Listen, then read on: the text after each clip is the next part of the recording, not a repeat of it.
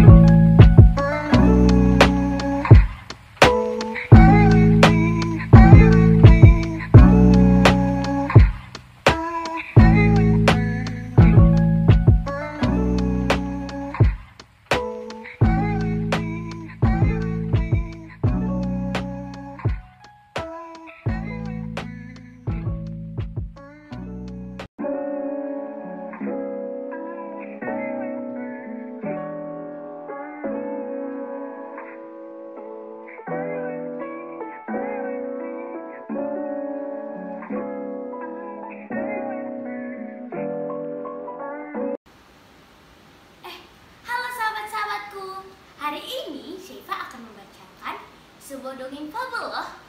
Kalian mau tahu judulnya apa? Ini dia judulnya, Bangau dan Kura-Kura. Ditulis kembali oleh Endes Wiguna. Em, dengarkan nih teman-teman. Tapi sebelum itu kita pindah tempat dulu ya.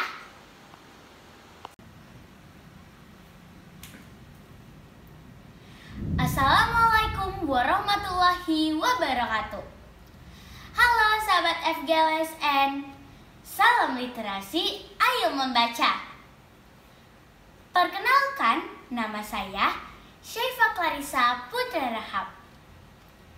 Saya bersekolah di SMP Harapan 1 Medan.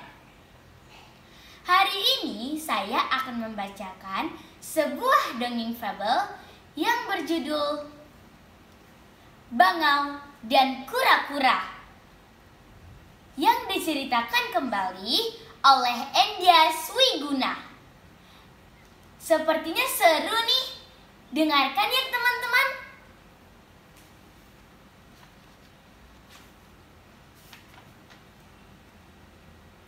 Dahulu, kura-kura dan bangau hidup berdampingan di tepi danau. Mereka bersahabat. Mereka mengobrol dan tertawa sepanjang hari.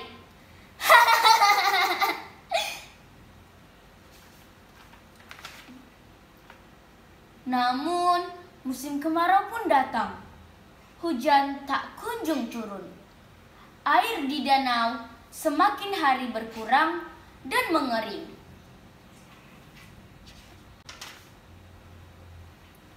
Para hewan mulai gelisah. Mereka mencari tempat tinggal baru yang terdapat banyak air. Begitu pula dengan para bangau. Dengan berat hati, seekor bangau mendatangi kura-kura untuk berpamitan. Kami harus meninggalkan danau ini. Ujar bangau sedih. Bagaimana kalian dapat meninggalkan aku sendirian? Bukankah kita ini sudah hidup bersama selama bertahun-tahun? Apakah aku bukan kawan kalian? Jawab si kura-kura sambil berilang air mata.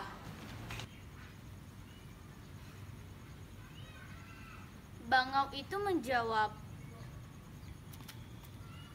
Sebenarnya kami tak ingin meninggalkanmu. Namun kau pun tidak dapat terbang bersama seperti kami.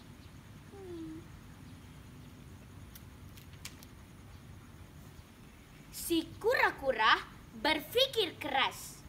Ia mencari cara agar ia dapat terbang bersama para bangau. Hmm.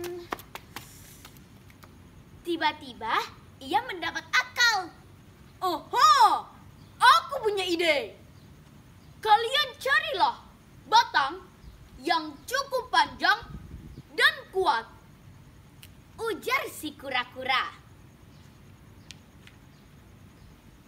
Si bangau mencarikan batang yang kura-kura maksud. Ini batangnya. Lalu kita apakan batang ini? Tanya si bangau keheranan. Hmm, Kau menggigit batang di sisi ini dan kau di sisi lainnya. Lalu aku akan menggigit di tengah. Dan kita pun dapat terbang bersama. jelasnya. Tapi kalian harus menggigit dengan kuat. Jangan melepaskan aku. Ditambahnya lagi.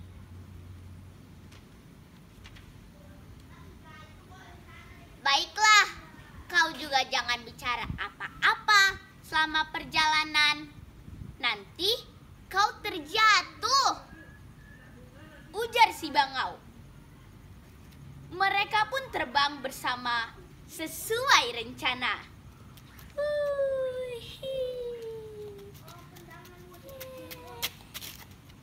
Mereka melewati daratan-daratan lain.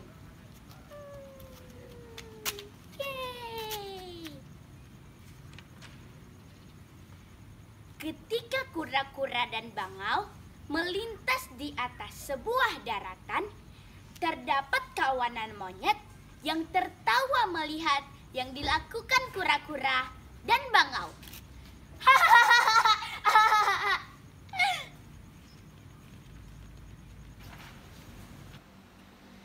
Sang kura-kura merasa diejek. Ia pun marah dan melontarkan sebuah kata. Mulutnya terbuka sehingga ia pun terjatuh dengan keras membentur tanah dan mati seketika. Hmm.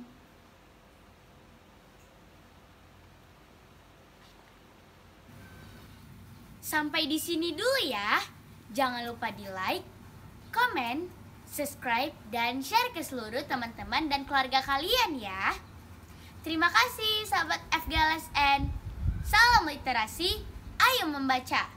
Wassalamualaikum warahmatullahi wabarakatuh. Dadah!